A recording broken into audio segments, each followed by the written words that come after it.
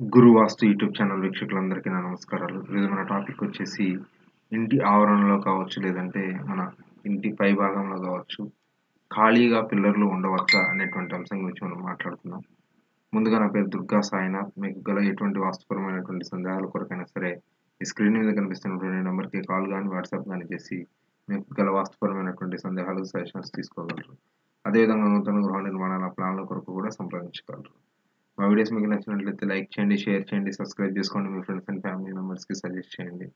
తద్వారా మీతో పాటు వాళ్ళు కూడా వాస్తుకు సంబంధించినటువంటి సరైన నాలెడ్జ్ తెలుసుకోవడానికి అవకాశం ఉంటుంది. టాపిక్లోకి వెళ్ళిపోతే ఇంటి నిర్మాణానికి సంబంధించి కొన్ని సందర్భాల్లో పిల్లర్లు నిర్మాణం చేసి ఆపేస్తూ ఉంటుంటారు. ఇది జనరల్గా జరగదు కానీ కొన్ని సందర్భాల్లో ఫ్యూచర్లో ప్లానింగ్ కోసం ముందుగానే పిల్లర్లు కూడా నిర్మించేసి వదిలేస్తూ ఉంటుంటారు. ఇక్కడ మీకు ఇమేజ్లో కనిపిస్తున్నటువంటి ఇది కూడా వచ్చేసి అటువంటి దానికి సంబంధించినటువంటి సందర్భానికి సంబంధించినటువంటి విషయం అయితే ఇలాగ మనం పిల్లర్లు ఈ విధంగా తీసుకోవచ్చా అని అంటే ఎట్టి పరిస్థితుల్లో పిల్లర్లు ముందుగా నిర్మాణం చేసి ఉంచుకోకూడదు.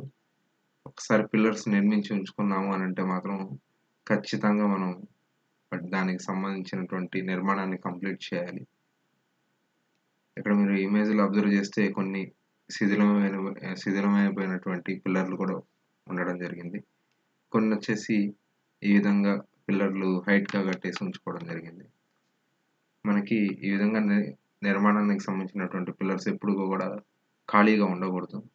దానివల్ల మనకి చెడే కానీ ఎటువంటి మంచి కూడా ఉండదు. కాబట్టి దీనికి సంబంధించినటువంటి నేను ఒక చిన్న జాగ్రత్త చెప్తాను. ఎవరైనా సరే పిల్లర్లు ఈ విధంగా నిర్మాణం చేసి ఆరు అడుగులు ఏడు అడుగులు ఎనిమిది అడుగులు లేదంటే జనరల్గా ఏడు అడుగుల దాకా లేదంటే ఆరు అడుగుల దాకా నిర్మిస్తూ ఉంటుంటారు.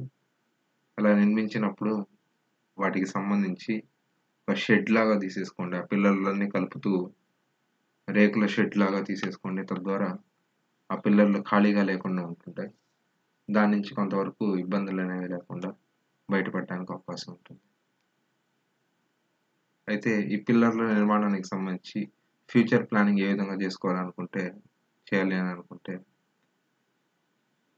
ఈ విధంగా ఇక్కడ మీకు ఇమేజ్లో కనిపిస్తున్న విధంగా పిల్లర్లన్నీ కూడా ఈ విధంగా తీసుకొని దానికి సంబంధించి కన్స్ట్రక్షన్ చేసుకొని వదిలేస్తే ఇన్ ఫ్యూచర్ మీకు కావాలంటే పైన రూములు నిర్మించుకోవాలనుకున్నా లేదంటే మళ్ళీ ఇంటి నిర్మాణం మొత్తం నిర్మించుకోవాలనుకున్నా కూడా ఈ కన్స్ట్రక్షన్కి సంబంధించి పిల్లర్ కన్స్ట్రక్షన్కి సంబంధించి మళ్ళీ జాయింట్ తీసేసుకొని మళ్ళీ పిల్లర్లు బాక్సులు పోసేసుకొని ఇంటి నిర్మాణాన్ని పూర్తి చేసుకోవచ్చు. అంతేగాని ముందుగానే పైన కూడా నిర్మాణం చేయాలన్నటువంటి ఉద్దేశంతో పిల్లర్లు ఎట్టి పరిస్థితుల్లో నిర్మించవద్దు దాని ద్వారా చెడు ఫలితాలను మాత్రం తీసుకోవద్దు. Thank you thank you for watching